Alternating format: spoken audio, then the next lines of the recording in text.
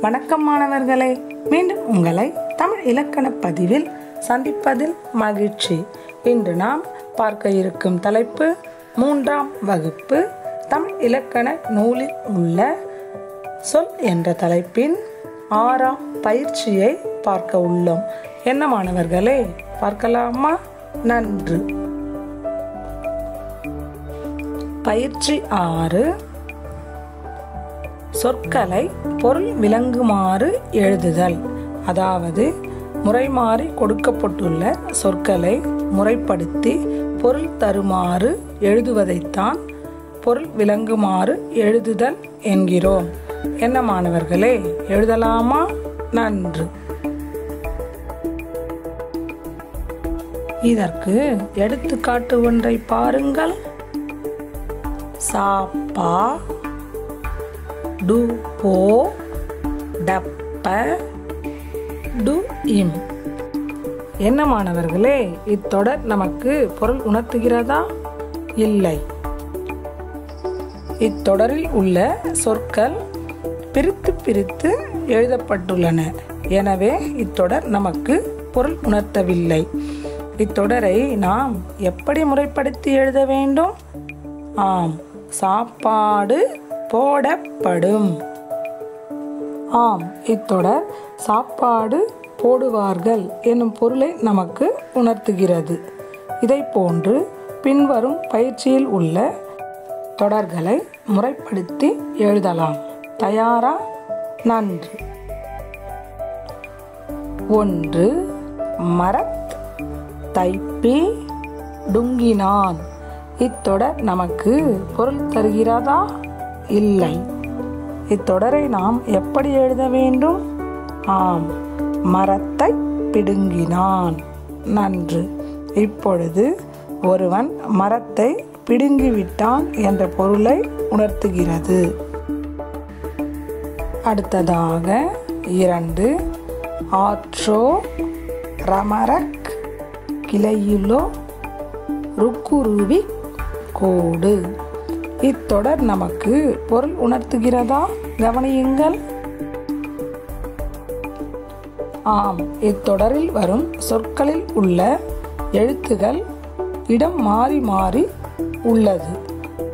இதை நாம் எப்படி முறைப்படுத்தி எழுதலாம்? ஆம் ஆற்றோர மரக்கிளையில் ஒரு குருவி கூடு. அடுத்ததாக மூன்று விளையா டுமிடமெல் லாம்பட் டாம்பூச்சி. இத்தொடரை நாம் எப்படி எழுத வேண்டும்? ஆம் விளையாடும் இடமெல்லாம் பட்டாம் பூச்சி இவ்வாறு எழுத வேண்டும். அடுத்ததாக நான்கு குதி ரை வேக மாய் ஓடும். இத்தொடர் நமக்கு பொருள் உணர்த்துகிறதா? இல்லை. இப்பொழுது குதிரை வேகமாய் ஓடும். நன்று.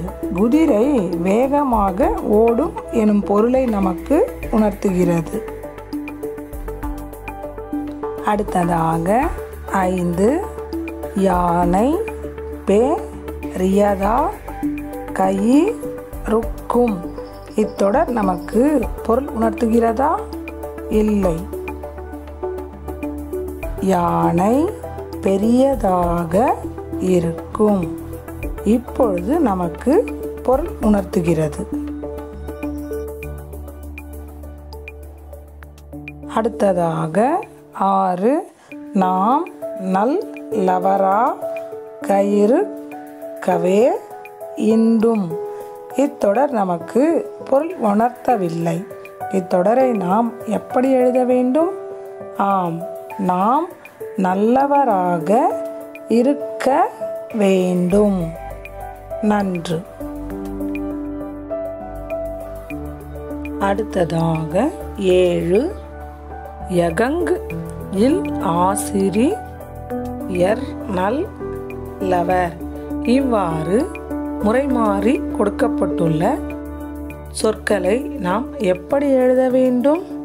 ஆம் எங்கள் ஆசிரியர் நல்லவர். நன்று. அடுத்ததாக எட்டு நான் இந்நரா கப்படி இப்பேன். இவ்வாறு முறைமாறி கொடுக்கப்பட்டுள்ள சொற்களை நாம் எப்படி பொருள் விளங்கும்படி எழுத வேண்டும்? ஆம் நான் நன்றாக படிப்பேன் என்று எழுத வேண்டும். நன்று. அடுத்ததாக ஒன்பது என் பெற்றோர் இல்லன வர்லக. இவ்வாறு பொருள் விளங்காமல் கொடுக்கப்பட்டிருக்கும் சொற்களை நாம் எப்படி எழுத வேண்டும்? ஆம். என் பெற்றோர் நல்லவர்கள் என்று எழுத வேண்டும். நன்று. என்ன மாணவர்களே சொல் என்ற தலைப்பில் உள்ள சொற்களை பொருள் விளங்குமாறு எழுதுதல் என்ற பயிற்சியை இக்காணொலியில் நன்கு தெரிந்து கொண்டீர்கள். அடுத்த காணொலியில் வேறொரு தலைப்புடன் சந்திக்கலாம். நன்றி மாணவர்களே.